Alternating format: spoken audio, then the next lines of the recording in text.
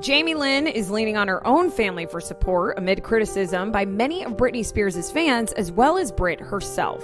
Jamie Lynn posted on her Instagram story an audio recording of her three year old daughter Ivey comforting her. Hey, Mom. It has to be okay, Mom. Oh, thank you, baby. The sweet audio video comes following negative posts made to and about Jamie Lynn on social media as Britney continues her ongoing legal battle against her conservatorship. Fans of Brit have accused her sister Jamie and other family members of allegedly failing to support Britney, as well as taking advantage of her. Jamie Lynn has publicly voiced her support for her older sister on social media and has denied being paid by her.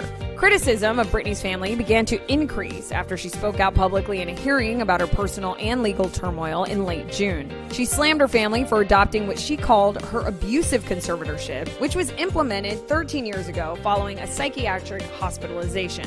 I don't like that my sister showed up at an award show and performed my songs to remixes, Britney wrote in an Instagram post. My so called support system hurt me deeply. This conservatorship killed my dreams. So all I have is hope, and hope is the only thing in the world that is very hard to kill, yet people still try.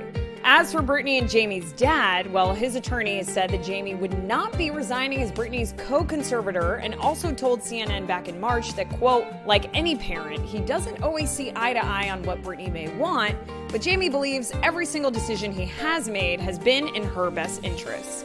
While Jamie never addressed her sister's post, she did admit on Instagram that she maybe didn't support Britney the way the public may have wanted her to, but she always supported her sister long before there was a hashtag, and she'll continue to support her long after.